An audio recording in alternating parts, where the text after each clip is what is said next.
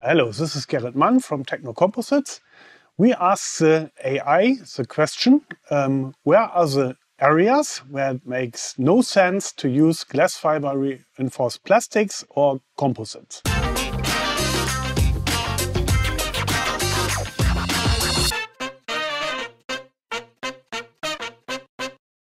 We received some answers and we can say, okay, they identified a few areas where it really makes no sense. On the other hand, um, there were answers. The AI said, no, it makes no sense, but we do it daily. So there are some areas where we really say, okay, the use of glass fiber reinforced plastics or composites makes no sense because of the material properties or also economic aspects.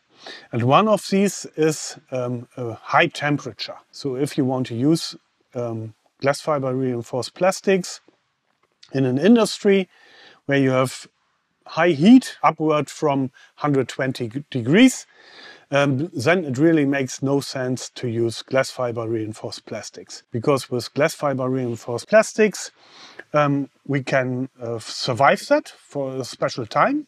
So uh, fire retardant solutions are something what we do daily.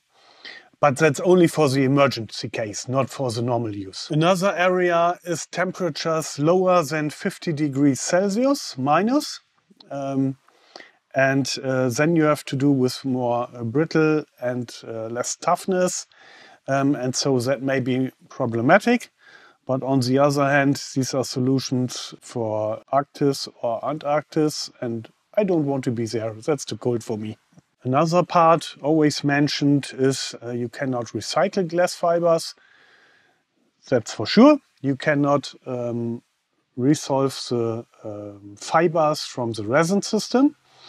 But the typical way to cope with that is you um, break it down to small flakes and put it in the cement industry because then after burning you have energy and um, the material, what is left over, can be used um, for cement industry. And so that's a way not of recycling, but of reusing. And on the other hand, when do you do it?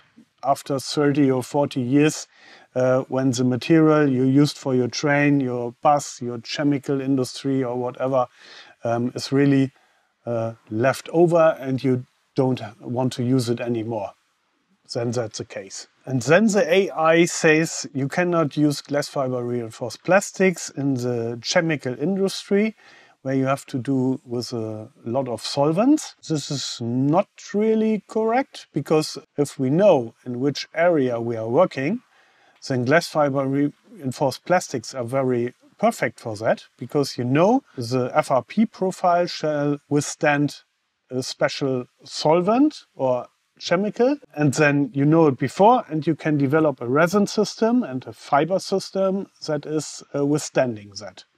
So it's only a kind of engineering to know where you want to use it. If you have a project and chemical resistance is an item you have to clarify, then please call us, let's discuss about it and we will find a solution. Or if there is no solution, we will open uh, uh, answer to that so that you have a clear idea what is possible and what is not possible. If you have the task that you need um, glass fiber material which is electrically conductive and you ask the AI, the answer is no, it's electrical isolating.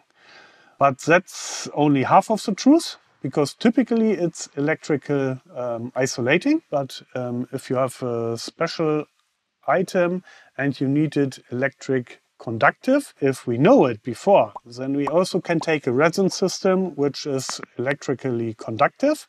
Or afterwards, we can do something with paintings that are also electrically conductive. So also in that case, let's talk about it and we will find a solution. This is one item where the AI is mistaken. We will show you in the next video some other items where it's the same case and we have solutions for it.